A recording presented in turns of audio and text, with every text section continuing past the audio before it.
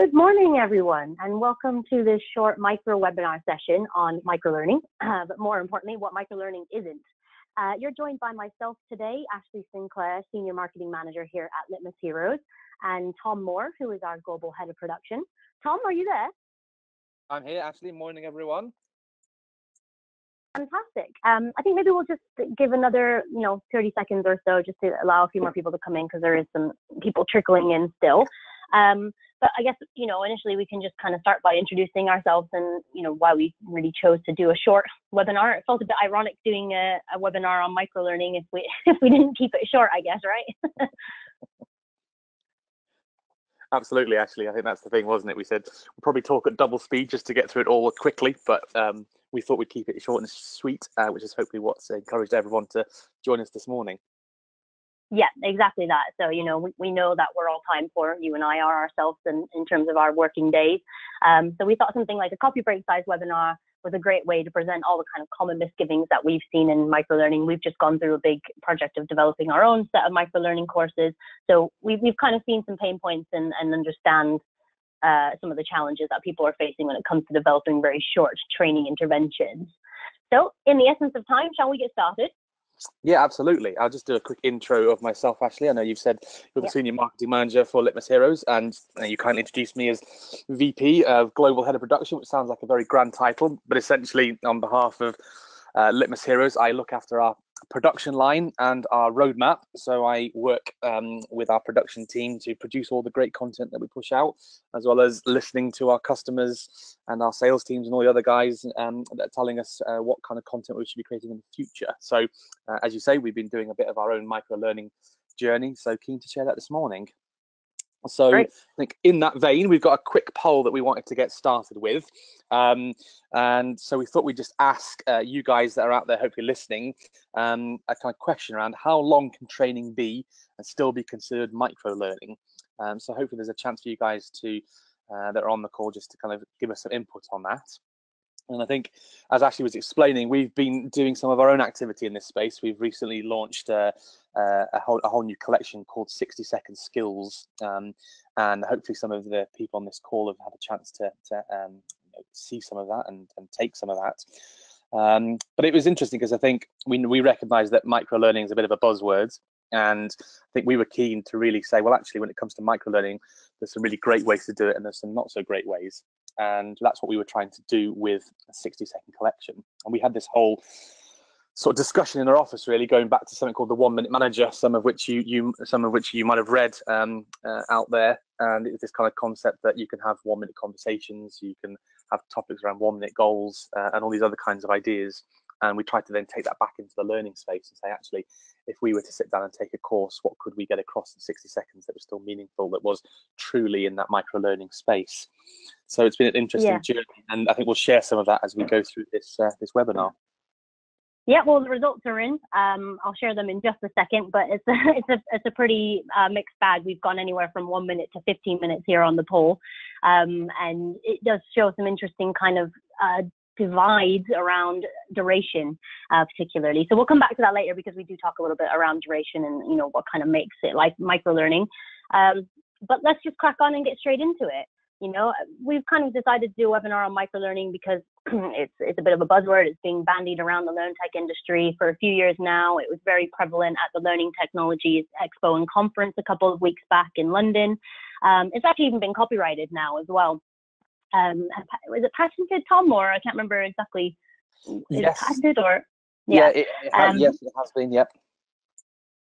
So yeah, so we've you know we've we've kind of seen this word being bandied around. We've seen some very interesting Frankenstein versions of this type of content. So we really just wanted to kind of get you guys that straight in terms of understanding a little bit more about what microlearning isn't it isn't, um, so that you can kind of start to avoid some of these pitfalls yourself when you start to try and introduce this into your uh, L&D strategy.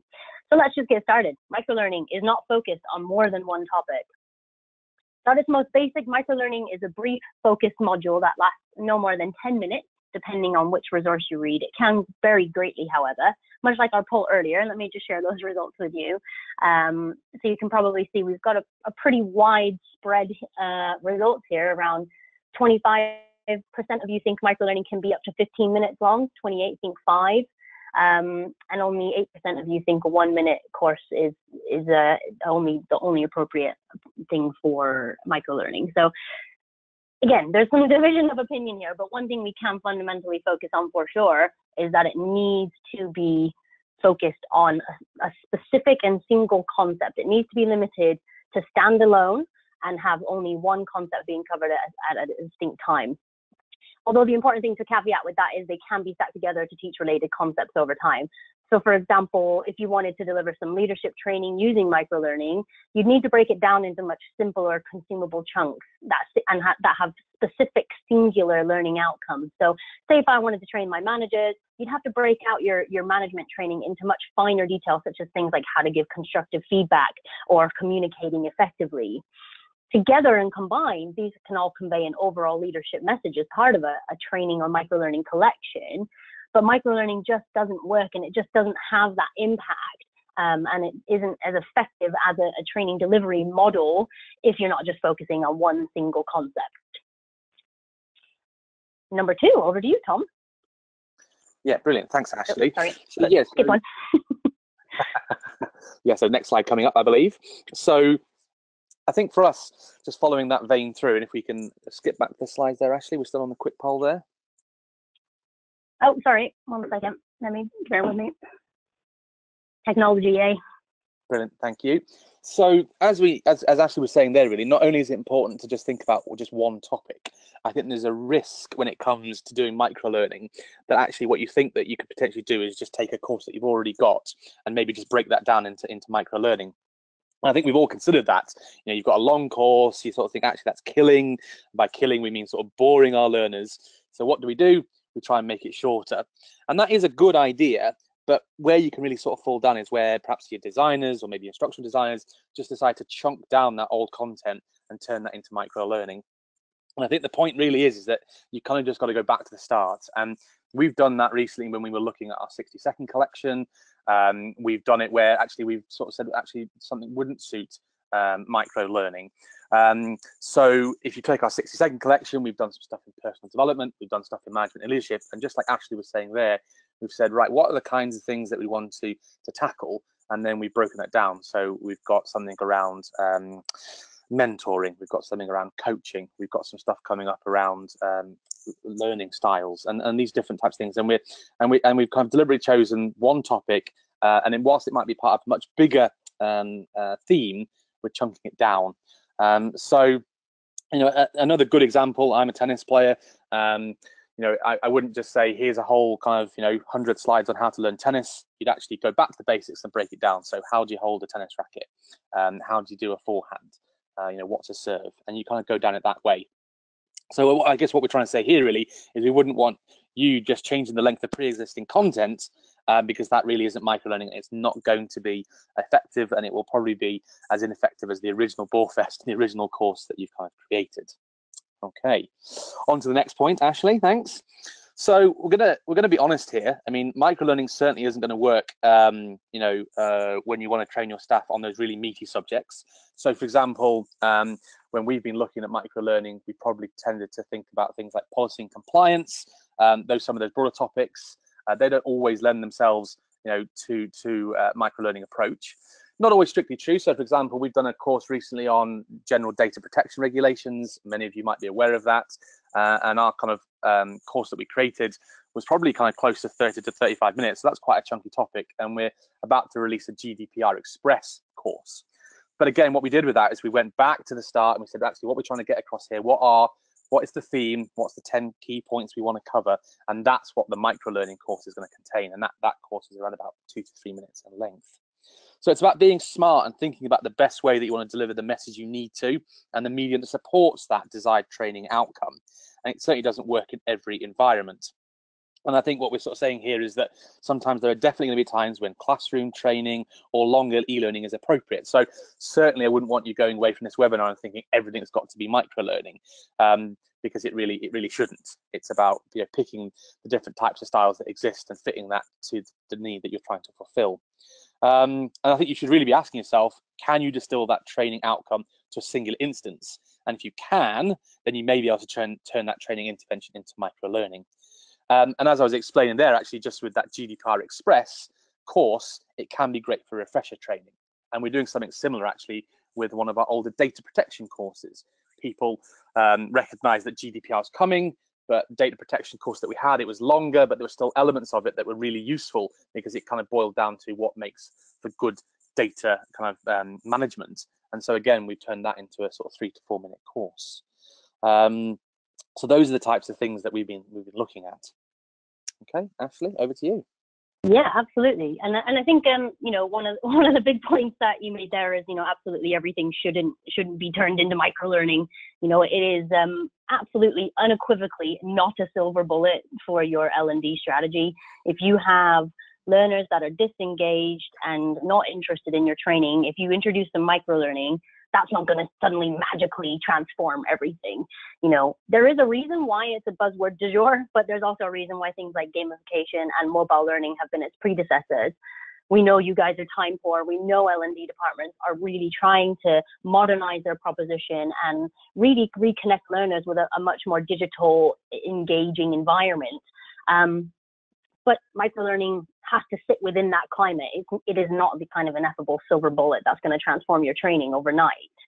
You know, it, it, it does, however, have a fighting chance of getting your learners interested, helping them learn better, and ultimately giving them opportunities for refreshers if it's part of your wider learning culture evolution strategy. So I guess the key here is that they it can help jumpstart a learning culture evolution, but it isn't going to change your culture overnight.